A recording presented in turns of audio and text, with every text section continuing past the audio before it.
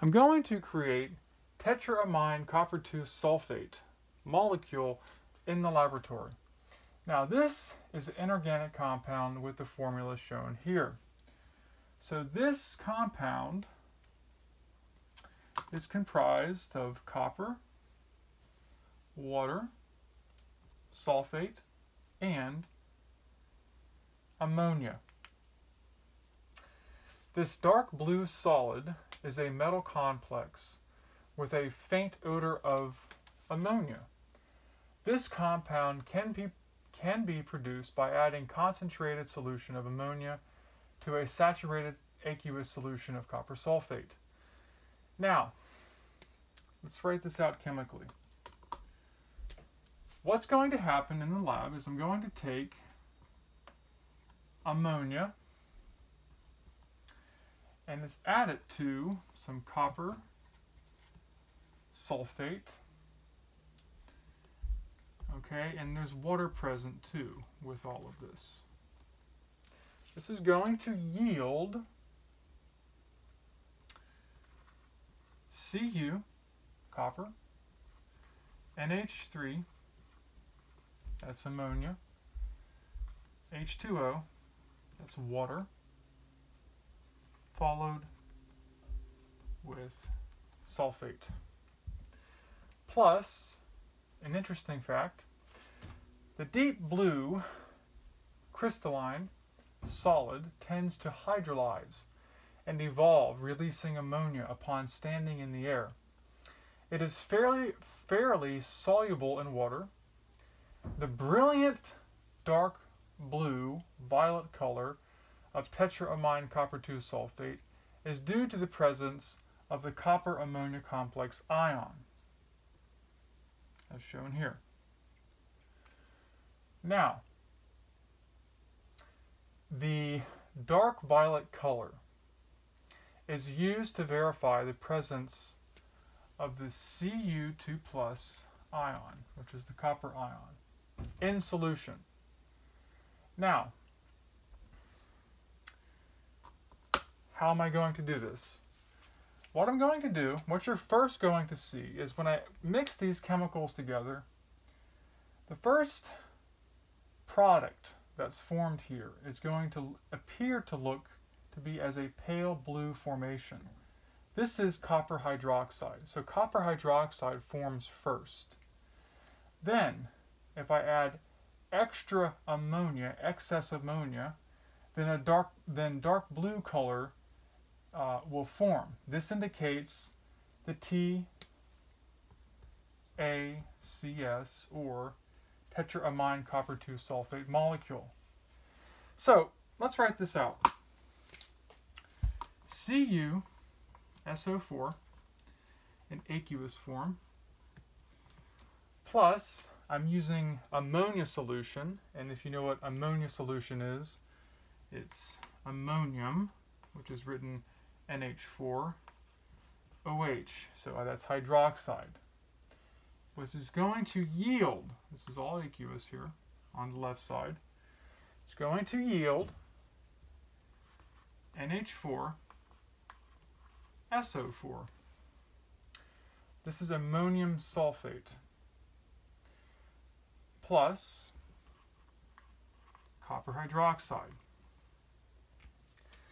Now, this is not the tetraammine copper 2 sulfate molecule complex. So what's going to happen is, is I'm going to add an addition, so I'm going to take copper hydroxide. And when you add extra ammonia, okay, what's going to happen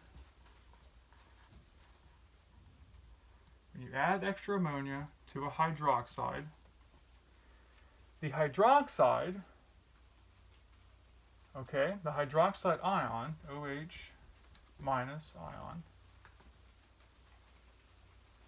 will be removed. So excess amounts of ammonia will kick away the hydroxide ion. And what's going to fall in place is the ammonia, and that's where we get the copper ammonia complex. And there's water mixed with it, so we write H2O here, like that. And then, of course, this is all encased and connected to a sulfate. Let's head to the laboratory and let me demonstrate how to create the tetraammine copper 2 sulfate molecule. To create the tetraammine copper 2 sulfate molecule, I'm first going to add some copper sulfate solution to the test tube.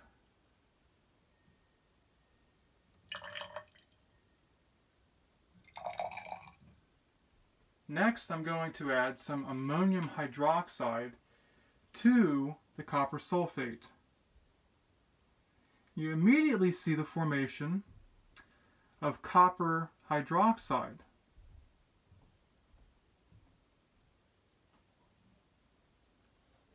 Okay, so that pale blue color you see here, this precipitate is copper hydroxide. Now, this dark blue uh, liquid at the top is the tetraammine copper 2 sulfate.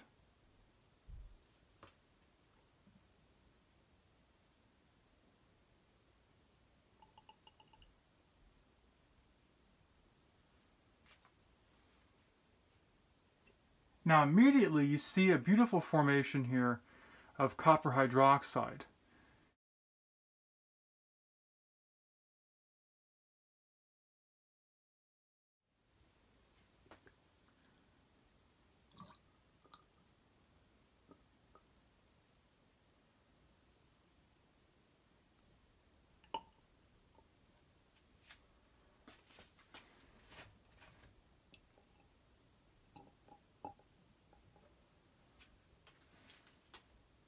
Now this very beautiful color you see indicates that we have created the tetraammine copper 2 sulfate molecule.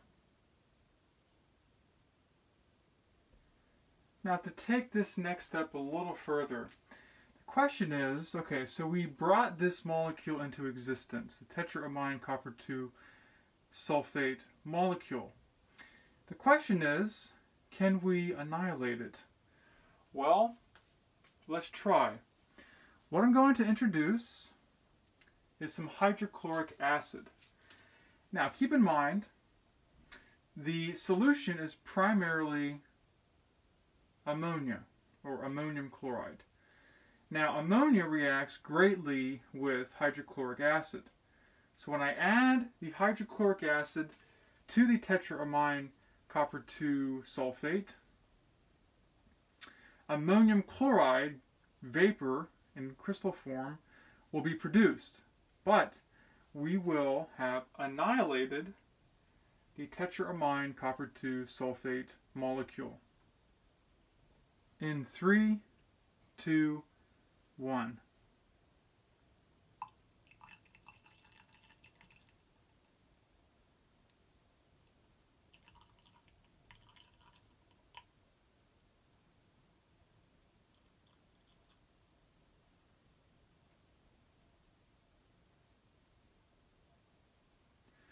Now, what we have here is a very dense vapor of ammonium chloride.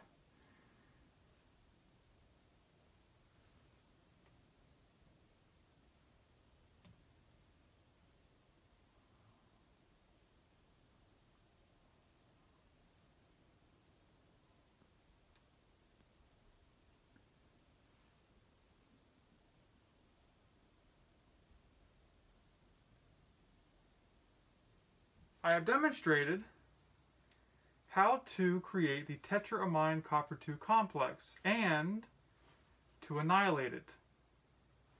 Now keep in mind, energy or matter cannot be created nor destroyed. So in essence, what's happening here is there's been a, a rearrangement of molecules and atoms and elements. One of the products formed was ammonium chloride vapor. And you saw that. It was formed here in the test tube. And as always, thanks for watching.